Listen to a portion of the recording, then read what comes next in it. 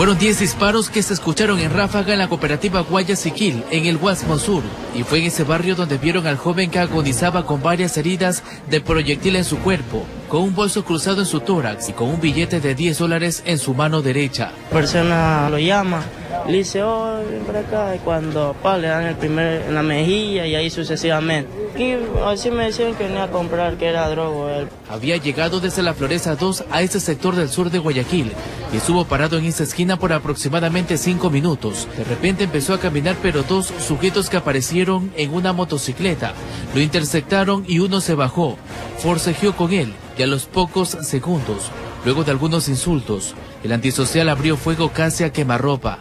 En el pecho tiene, tiene en el pecho, en el brazo y aquí en la nariz. Carga un bolso, un canguro, los lentes, el reloj que carga, el teléfono, plata que cargaba en la mano. ¿Dónde la han robado? No sé, porque ya no le veo nada.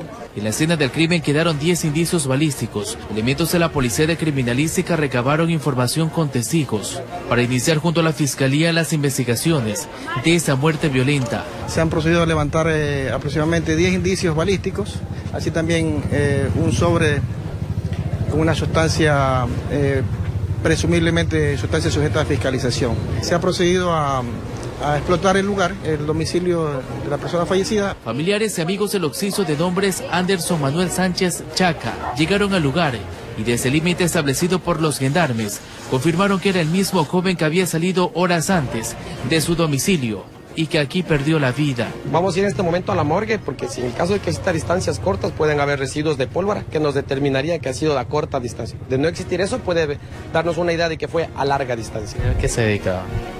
Él trabaja con el papá. Comerciante. Comerciante. Un amigo me dijo que estaba acá tirado y me vine rápido. Y acaba de confirmar que es su vecino el que está fallecido. Sí, vive al frente de mi casa. El cadáver fue levantado en presencia de ciudadanos que estaban sorprendidos por ese crimen, que supuestamente está relacionado al microtráfico de drogas. Aparentemente desde acá hubo un buen ángulo y se pudo observar el asesinato. El video está en manos del EQ911, informó Charlie Pisa.